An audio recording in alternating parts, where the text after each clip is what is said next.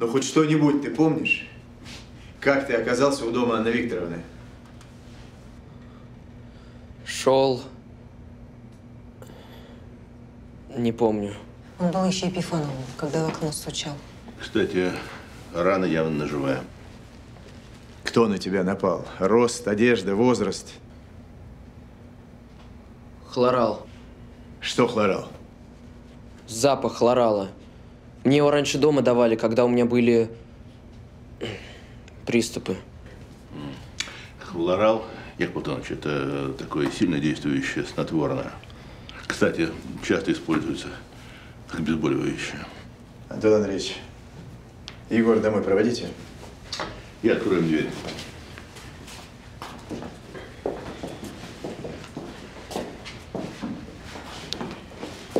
Как жаль, что Егор самого главного не помнит.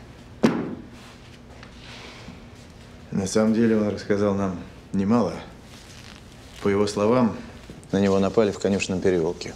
Да это он себя пришел в конюшенном переулке. А где напали на него, мы не можем знать. Ну, скорее всего, в окрестностях конюшенного и напали. А к вашему сведению, там проживает Арина Сурина. А я тоже сразу почувствовала, что эта женщина здесь замешана как-то. Больше, чем вы думаете. Перед тем, как стать мадам Суриной, юная курсистка Арина была содержанкой Епифанова. Она сразу Епифанова узнала. Но почему ты решила об этом молчать? Епифанов снимал ей домик в Слободке. Частенько ее посещал, а приходил пешком через овраг. Там его смерть и настигла. Егора смерть чуть не настигла, и тоже возле дома Арины. Раз, два, три, четыре, пять. Я тебя иду искать.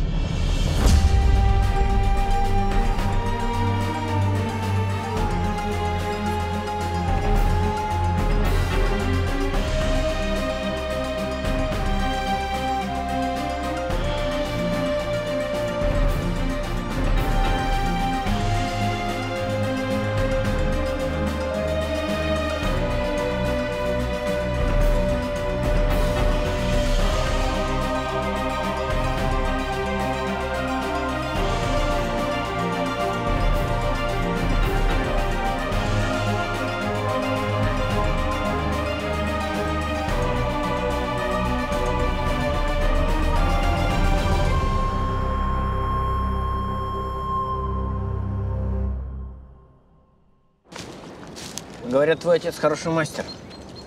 Да, любую машину может собрать, хоть паровую. А ты что, стал быть, не хочешь быть мастером? У меня не получается. Не получается. Надо меньше по ночам бродить, больше отцу помогать. Тогда все получится. Стойка. Кто это там с твоим отцом? Я не знаю. Иди сюда.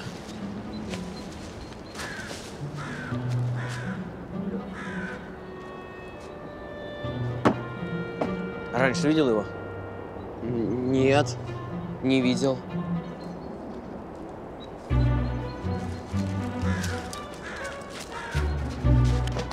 Так, ты давай домой. Скажешь, что задержали в полиции, давай показания, чтобы не ругали. А, береги себя.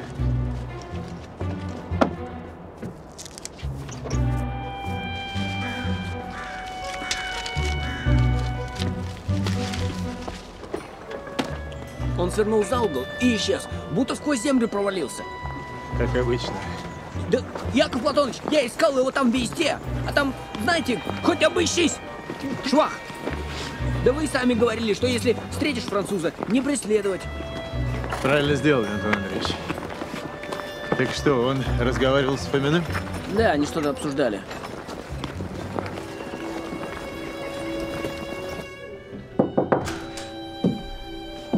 Доброе утро. Э, Не прерывайте труда, не беспокойтесь, мы к вам. Доброе утро, господа. Я не ожидала визитов так рано. Вы уж простите, служба. Да. У вас тут целое производство на дому. Да, снимать отдельное помещение слишком дорого.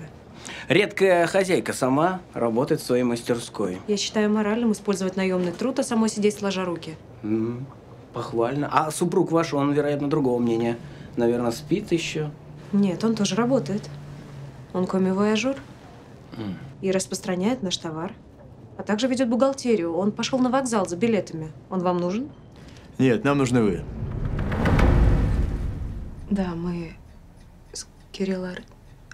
Кириллом Артемьевичем были близки. Я должна была вам сразу об этом сказать, но я не смогла. Почему?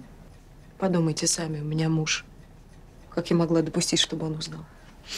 Так он что, ничего не знает? Нет. Я любила Кирилла Артемьевича. Для нас обоих было трагедией, что мы не можем вступить в законный брак. Ведь у него уже была семья. Как же при такой любви вы решились выйти замуж за другого человека? Я решила, что Кирилл Артемьевич бросил меня. Он перестал отвечать на мои письма, он не приходил. Я решила навести справки. Узнала, что он пропал. Конечно, я в это не поверила. Как такой человек может пропасть? Господи, если бы я только знала, что с ним случилось на самом деле. Я даже в страшном сне не могла себе представить, что его могут убить. Когда вы познакомились со своим мужем, с Суриным? Осенью в октябре. Это до или после исчезновения из вашей жизни Епифанова? После. Я осталась совершенно одна, мне некуда было деться, и я приняла предложение Сурина. Он тоже очень хороший человек. Там, во враге, вы же сразу опознали останки Епифанова. Да. Может, ваши показания насчет Егоров имена тоже изменятся? Что вы имеете в виду? Может быть, пора признаться, что Егор вам знаком гораздо лучше, чем вы нас здесь уверяете. Я вам сказала правду. Этого человека я не знаю вовсе. Вы знаете, что сегодня ночью, недалеко от вашего дома, на Егора напали. Господи, нет, конечно. Откуда я могла это знать? А где вы находились? Вчера с 10 до 11 вечера. Здесь, в мастерской. Мы получили большой заказ. Кто-то из ваших работниц может это подтвердить? Нет, было поздно. Я их отпустила. Ну, а кто тогда может подтвердить это алиби? Мой муж, он был дома. Здесь, рядом с вами, в мастерской? Нет. Я была в мастерской, он был дома. Ну, тогда, боюсь, это свидетельство ненадежно. Если она организовала убийство Епифанова, тогда зачем она пошла в полицию? Зачем показала труп? В ее интересах наоборот, чтобы его никогда не нашли. Тело нашел Егор и мог рассказать об этом кому угодно. При таких обстоятельствах выгодно бежать в полицию впереди всех и все рассказать. Вот таким образом Арина и могла вывести себя из числа подозреваемых, ну хотя бы на время. Я только не понимаю, зачем. Мотив – деньги. Да нет, деньги у нее были, пока она жила с Епифановым. Вот когда он исчез, у нее и начались непростые времена. Да. А что, если Епифанов пообещал ей упомянуть в своем завещании? Но обещание своего не выполнил, а узнала она об этом только тогда, когда дело уже было сделано. Может быть. Яков Платонович, а вы куда? Я к родителям Егора, вы меня не ждите, увидимся в управлении. Ага.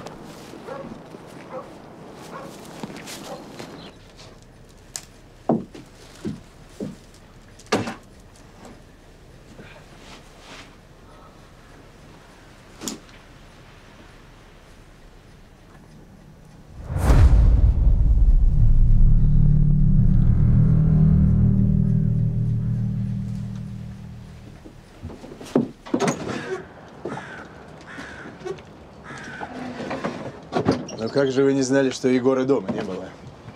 Так он, он кровать свою так заправил, ну, будто кто-то под одеялом лежит. Ну, мать глянула, подумал, он тихо вошел, он так делает. Ну да, понятно. Нет, ну теперь-то мы его будем стеречь, конечно. И я позабочусь, чтобы никто не пудрил ему мозги. А теперь у меня к вам вопрос служебного порядка. Слушаю внимательно. Вы же механик. Точно так. По каким машинам? По любым. От швейных до паровых. Это хорошо. К вам сегодня приходил заказчик, иностранец с бородкой. Вы откуда знаете? Я полицейский, нам все известно. Вы что-то делаете для военного ведомства? Не велено об этом говорить. А иностранцу можно. Не, не говорил. Ничего. Он спрашивал, я не сказал. Что ж, я не понимаю, что... Он что, шпион? Да нет. Из жандармов, он из наших. Проверяет, как государственная тайна хранится. Ох, я молчал. Ну вот и молчите, если опять появится.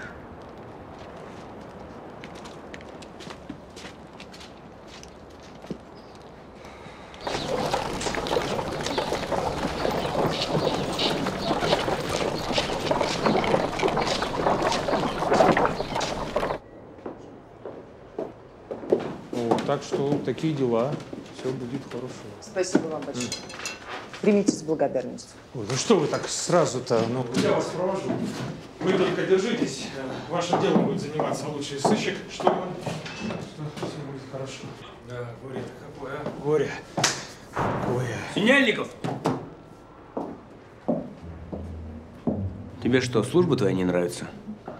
Или, может быть, жалование недостаточное? Никак нет, всем премного доволен. Так. А чего ж ты, негодяй? А что ж ты взятки гребешь? Ой, прямо в управлении. Виноват, ваше благородие. Дамочка отблагодарить хотела. Я и нет, не надо, она все равно сунула. Я и подумал, ладно, в церкву отдам. За что благодарила? Да я из оврага доставал костяк этого купца. Ну, она узнала об этом и спрашивала, кто нашел. И ты сказал? Ну, от чего? Она дочка купца. Понятно, переживает и все. Знать хочет. Виноват, ваше благородие. Ответишь за это.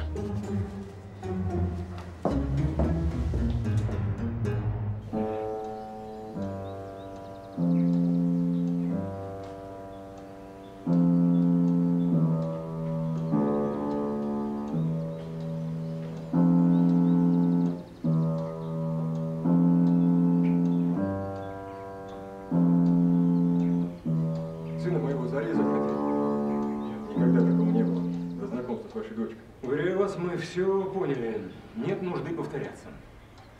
Наша дочь больше не придет к вашему сыну. Благодарю. Просковья, проводи господина.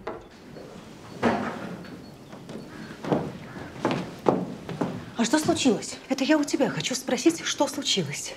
Явился какой-то господин и обвиняет тебя в том, что ты сводишь с ума его сына. Он утверждает, что из-за тебя его, то есть его сына, чуть не убили. Это вздор. Я здесь ни при чем. Я так и думала. Это было бы слишком даже для тебя. Но этот господин потребовал. Ты меня слышишь, Анна? Он потребовал, чтобы ты оставила его семью в покое. А мне мальчика жалко, они его мучают. Они его лечат. А он не больной, но и не здоровый. Насколько я понял из рассказа нашего посетителя, ты пыталась приобщить его сына к спиритизму? Он и без меня приобщился. Мне просто мальчика жалко. Ему поговорить не с кем, совета не у кого спросить. Я себя в его возрасте вспоминаю. Если бы не дядя, я бы себя очень одиноко чувствовала и несчастной. Да как ты смеешь такое говорить? У тебя было счастливое детство, и мы с отцом делали все, чтобы тебе было хорошо. Справедливости ради надо сказать, что тонким натурам требуется чувство родства с теми, кто их понимает. Я надеюсь, что у нашей дочери гораздо больше внутреннего родства с нами, нежели со всеми спиритами этого мира, даже если она сама этого не сознает.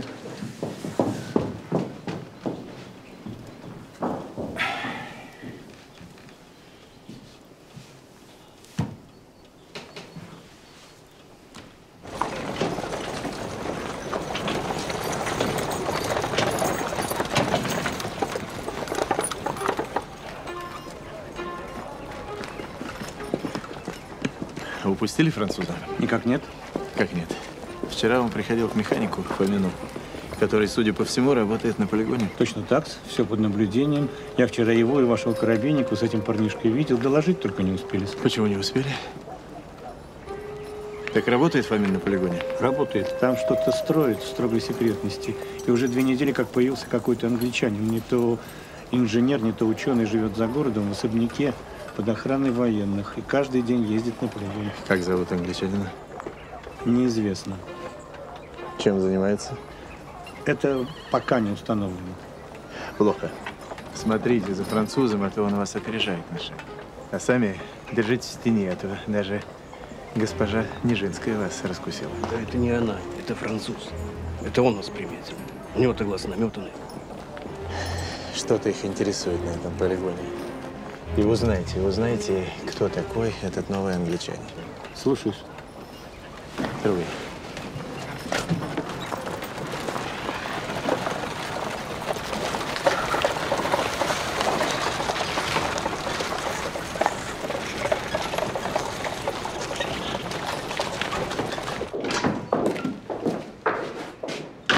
День добрый. Яков Платоныч, Надежда Епифанова взяла в оборот нашего унтера Синельникова и выяснила, кто обнаружил тело. Как? 10 рублей нынче стоит тайна следствия. Синельников рассказал про Арину Сурину? Увы. Рапорт. Потрудитесь написать. Непременно. Господин Стольман! Моя фамилия Сурин. Сегодня вы имели беседу с моей женой. И я хотел бы кое-что добавить к ее показаниям. Кабинет пройдемте.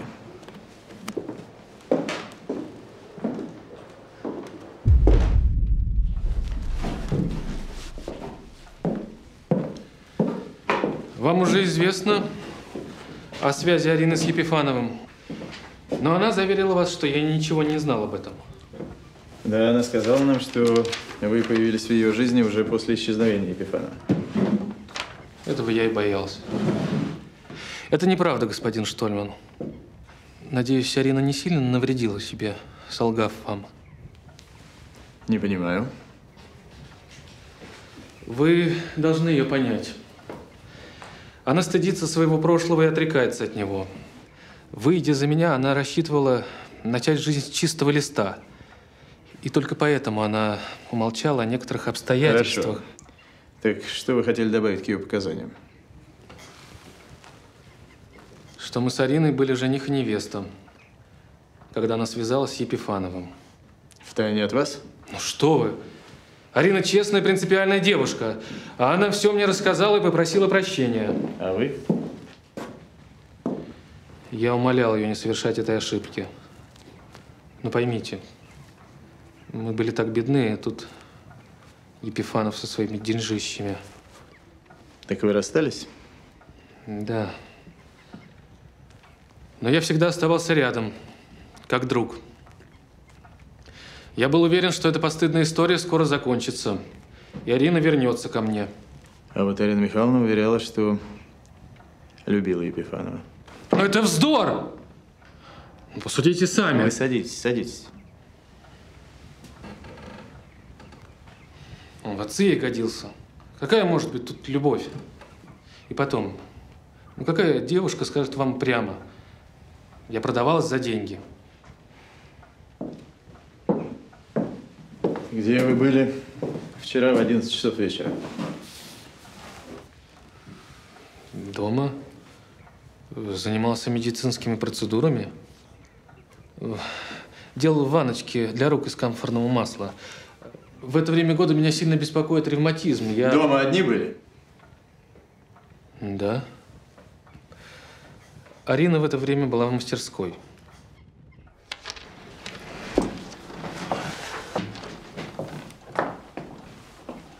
Что творится в этом доме? Твой отец вызвал меня на разговор по душам. Все допытывался. Как, по моему мнению, счастлива ли ты? Так.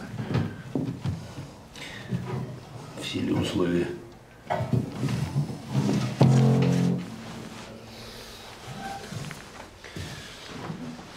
в силе условия созданы, как-то он выразился, для твоей полноценной жизни. Вот И что ты ответил? что я мог ответить. Я его заверил в том, что он, что он идеальный отец. Дядя! Что? Тихо. Ну ты что, не мог воспользоваться моментом и сказать ему, что мне хотя бы, ну хоть чуточку больше свободы нужно? Дитя мое, у тебя свободы больше, чем у любой другой барышни в Затонске. Будь уж справедливы к своим родителям.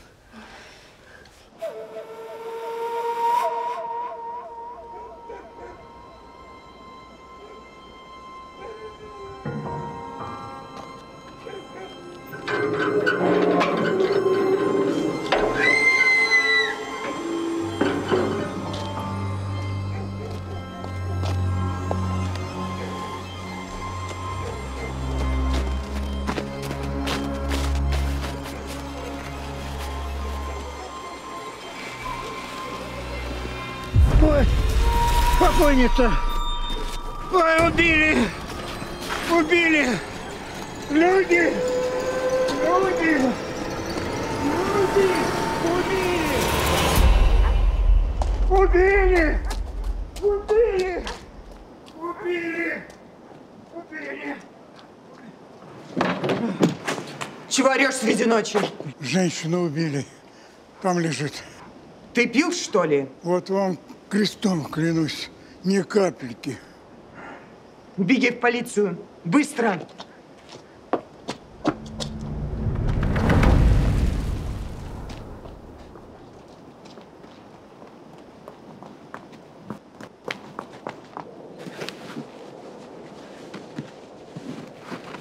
Барышня, не трожьте!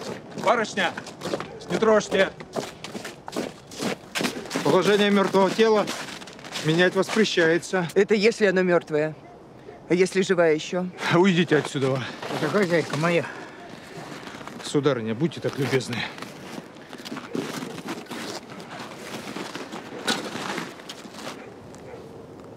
Да, остывает уже. Ступай за начальством.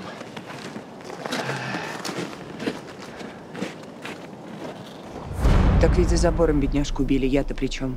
Вы что, хотите сказать, что вы не знали убитую? В глаза ее не видела. Как же? Вы 10 рублей заплатили, чтобы установить личность. Так это была та женщина, что обнаружила тело батюшки? Вы по-прежнему утверждаете, что не знакомы с ней. Я знаю только ее имя. Арина.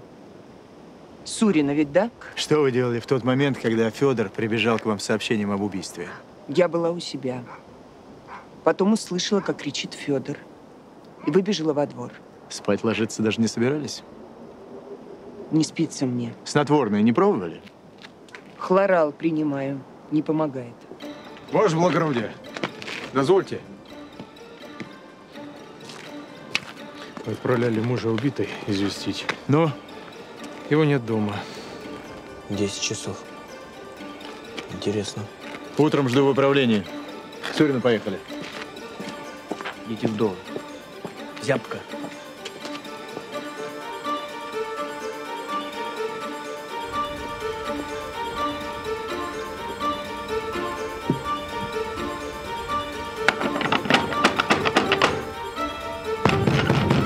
Сорин, откройте! Антон Андреевич, вскрывайте дверь.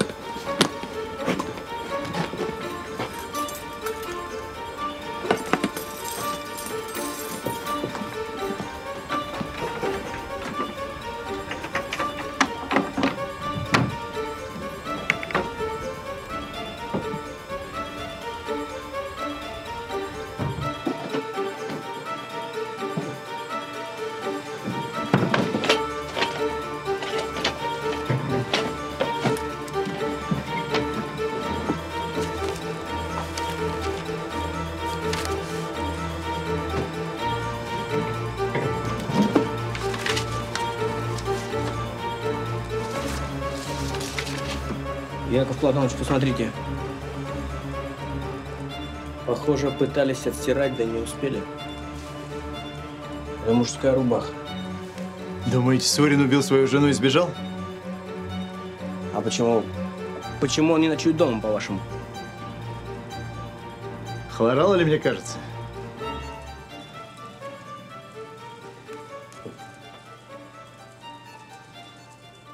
Определенно. Что здесь происходит?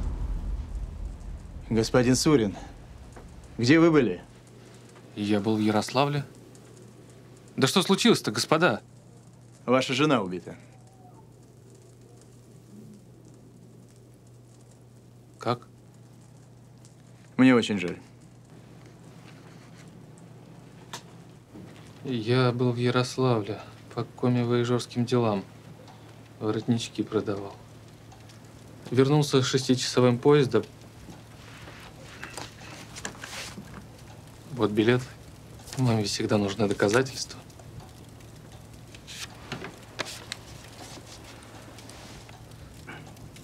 Где она? Я могу ее видеть? Да, да, конечно.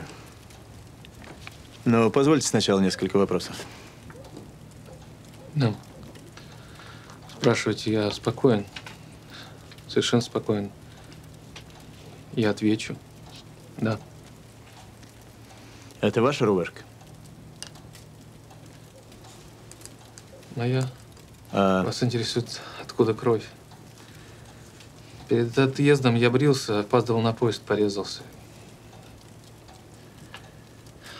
Арина тогда еще рассердилась, сказала, что кровь не отстирывается. Боже мой. Боже мой. Нашими последними словами друг другу были глупейшие препирательства из-за рубашки. Кто-то в Ярославле может подтвердить, что вы там были? Да, да, конечно. Я ездил по делам. Могу назвать магазины, в которых был с товаром. Если не сложно.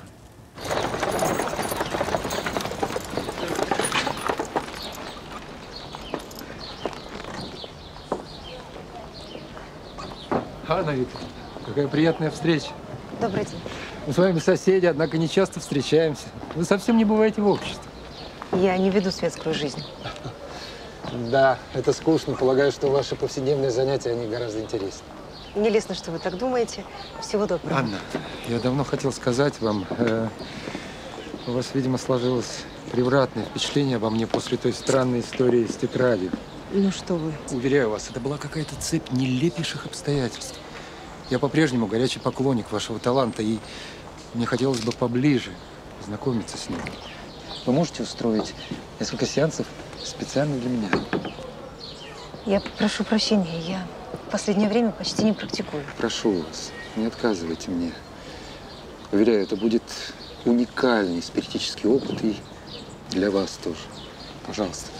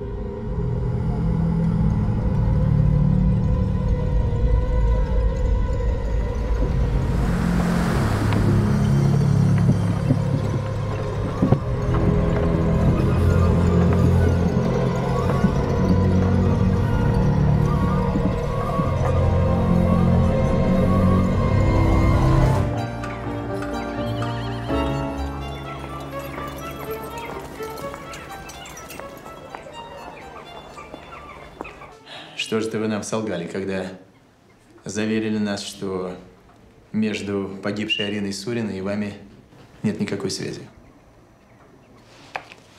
Накануне ее гибели вы написали ей письмо.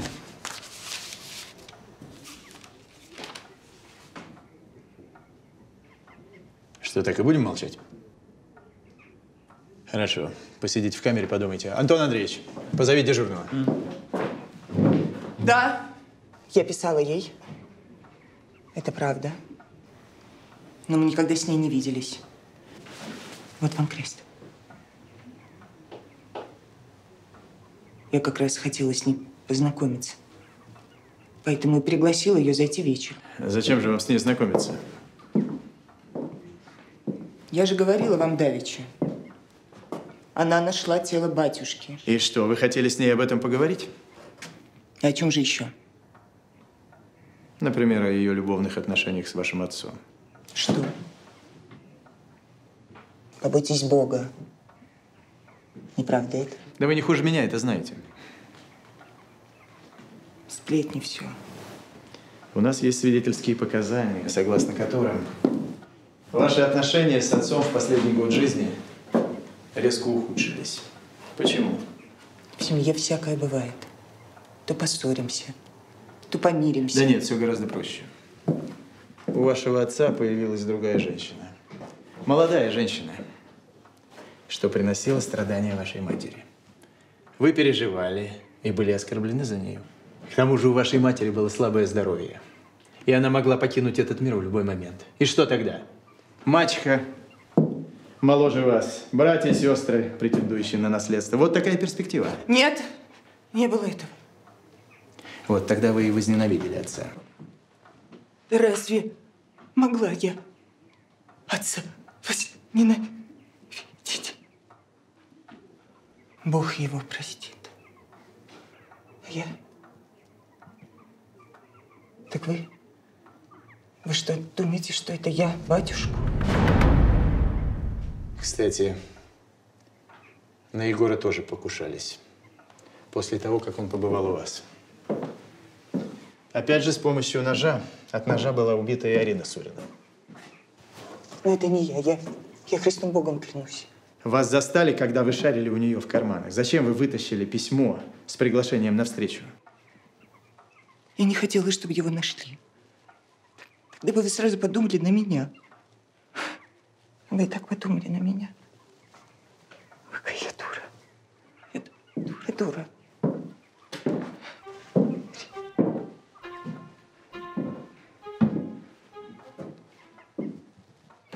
Но я не убивала ее. Передайте доктору Милцу, пусть проверит и в архив. Яков Платоныч. Яков Платоныч. Арина умерла. Уже знаете? И вы уже знаете.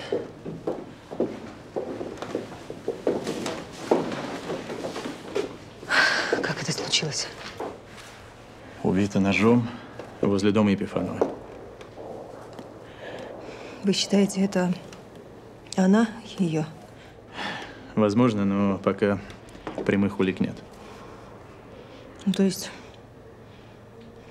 сначала убила отца, а теперь убивает свидетелей. Нет. Пока это только версия. Я себе даже, даже представить не могу, как, как женщина может убить типа, ножом. Надежда девушка крепкая, и нервы у нее стальные, хотя, мне кажется, она не убивала. Почему? В момент убийства она находилась в доме. Когда узнала о происшедшем, то выбежала на место преступления и вытащила у Арины свое письмо из кармана. Если бы она убивала сама, то изъяла бы эту улику сразу. А на Егора, по-вашему, кто нападал?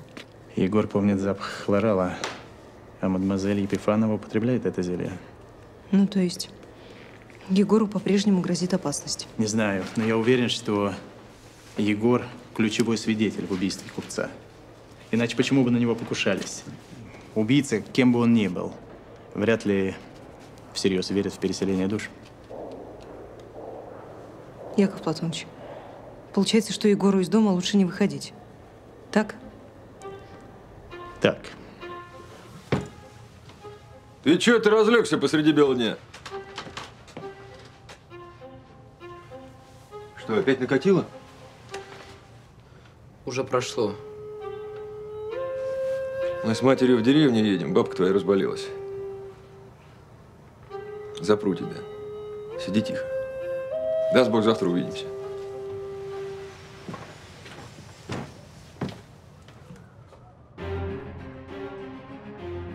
Этот Фомин работал на полигоне, ставил там паровую машину для подачи пара в некую лабораторию, которая начинает работать. Это все, что удалось узнать от него за 100 рублей. А это не рискованно так вот прямо расспрашивать его о военном объекте. Это же, это же может донести. Я представился поставщиком, который ищет возможности продать что-то для армии, и потом он больше меня не увидит. А что этот англичанин? Его зовут Гордон Браун. Приехал две недели назад, поселился в загородном доме под военной охраной, под охраной ездит на полигон. Пока это все, что известно. Вы свободны, Жан.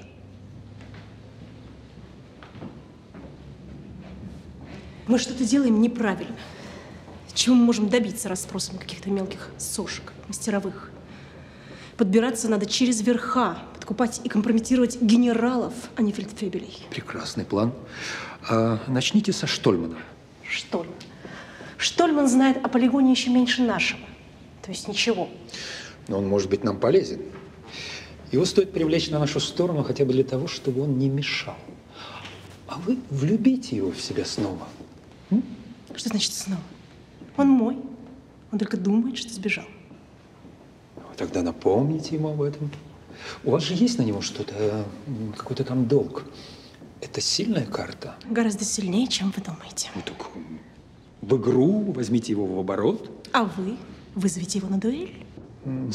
Нет. Ну что вы, эта болезнь миновала. Приступа больше не будет.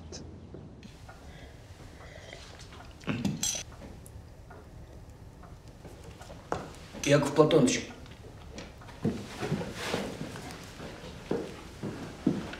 нам по домам не пора уже? Так я же вам давно сказал, Антон Андреевич, вы на сегодня можете быть свободны.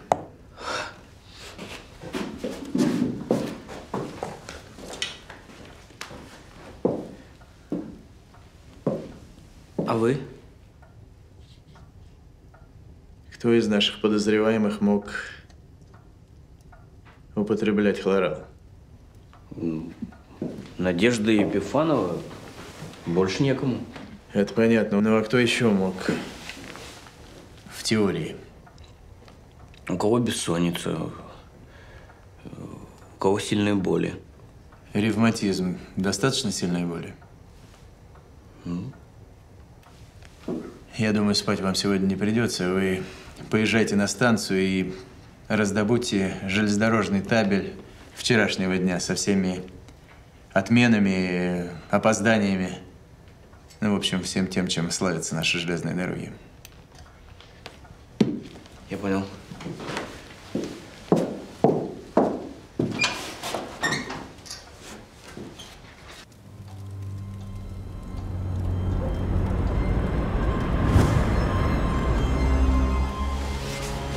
Арина? Спасите его, спасите его, я вас умоляю, спасите его.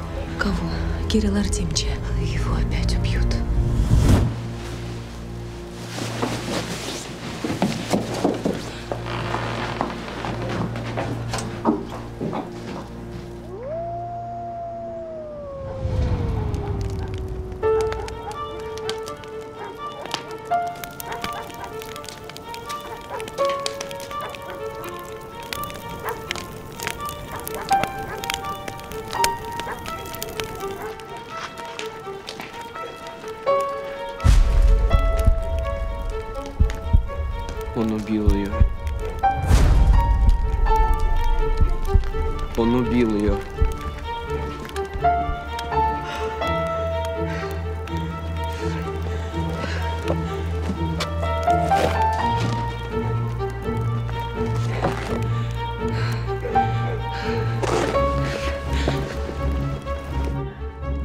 Вот оно что.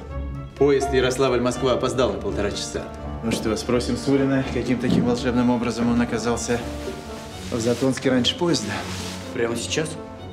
Ночь на дворе, Яков Платонович. Придется потревожить безутешного водовца.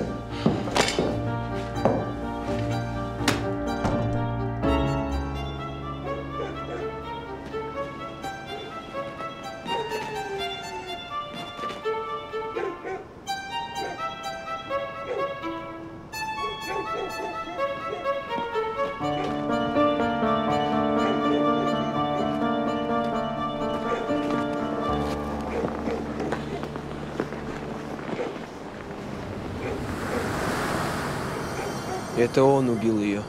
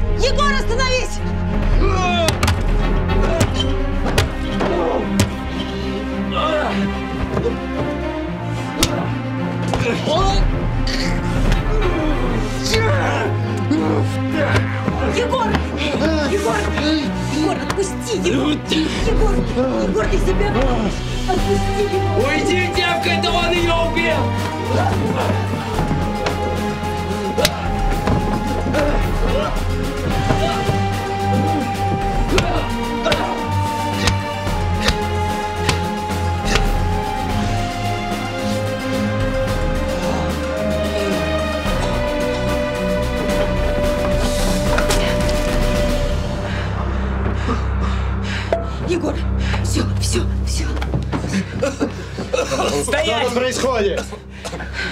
Каким чудом вы здесь? Викторовна. У Сурина ложное алиби.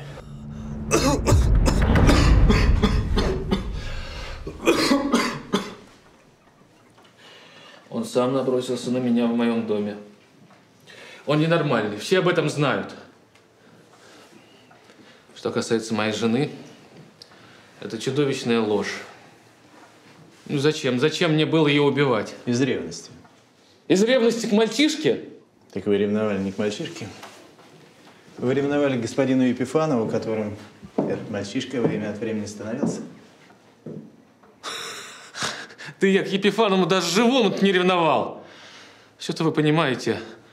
Плоско и пошло, господа полицейские. Арина никогда, никогда не любила Епифанова. Связалась с ним только ради денег. Да, но она оплакивала его смерть, обнаружив тело. Пыталась разузнать про убийство, поэтому и расспрашивала Егора. Равнодушные люди себя так не ведут. Вы убили ее, потому что поняли, любила она все время не вас, Епифанова. Вам меня не запутать. Я ее не убивал. У меня алиби. Нет у вас алиби. Я был в Ярославле. В Ярославле вы действительно были, только вот вечерним поездом вернуться вы не успели. Ярославский поезд опоздал. В тот момент, когда вы вернулись домой, он еще был 30 верст от Затонска. То есть приехать вы могли только трехчасовым дневным. И у вас было достаточно времени, чтобы убить жену. А вот алиби вы придумали хладнокровно. Если бы у вас не было намерения убить Арину, ну, не стали бы вы закручивать такую легенду и запасаться ненужными билетами. Она начала подозревать. Мне пришлось. Но я не из ревности, господа. Так она подозревала вас не только в покушении на Егора, она подозревала вас в убийстве Епифанова. А вот это вот, господин Штольман, вам никогда не доказать. Ну почему же? Заводи!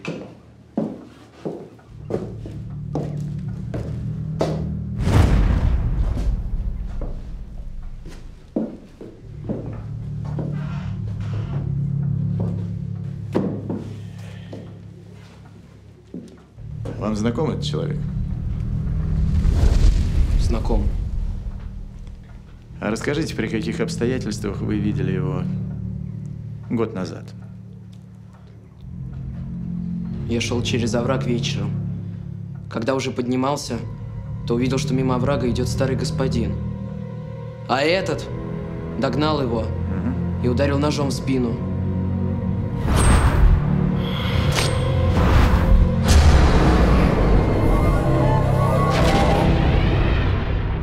Я испугался, спрятался в кусты и увидел, как этот толкнул того во враг и закидал его ветками. Да он же больной! Ну кто, кто ему поверит-то? Я не больной! Успокойся. Со мной такое больше не случается. Я знаю. Я все вспомнил. Это были вы.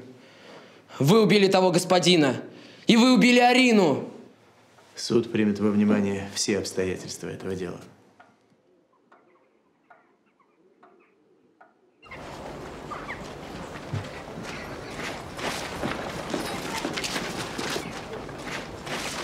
Уже есть. Спасибо. Анна! Анна!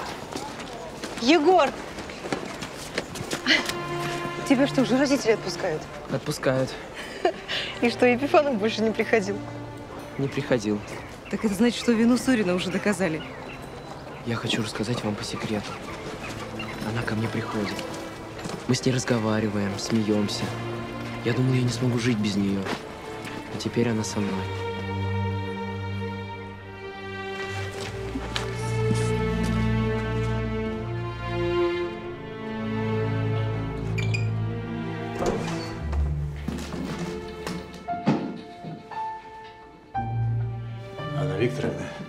Яков Платонович, а что же вы не хвастаетесь? Удалось вам доказать, что Сурин убил Епифанова? к сожалению, нет. Э, Суд не принял показания мальчика. Но по убийству Арины улик оказалось достаточно для приговора. Как там Егор? У него все будет хорошо. Я очень боялась, что гибель Арины выбьет его из колеи, ведь он был влюблен в нее. Неужели? Прям-таки влюблен? А вы не заметили? Яков Платонович, Яков Платонович, не умеете вы читать в человеческом сердце. Несправедливо. Кажется, в хитросплетениях отношений Епифанова, Сурина и его жены я разобрался. Умом, не сердцем.